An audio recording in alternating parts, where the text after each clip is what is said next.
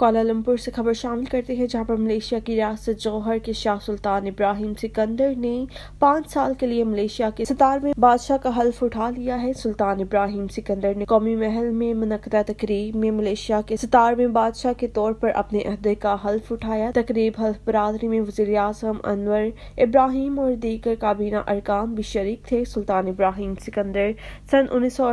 में पैदा हुए जबकि वो दो हजार दस से रियासत जौहर पर हुकूमत कर रही हैं सुल्तान इब्राहिम मुल्क माशियत में भी काफ़ी नुमाया मुकाम रखते हैं जिनका कारोबारी हल्का अमलाक से लेकर टेली मवासलात और दीगर शोबों तक फैला हुआ है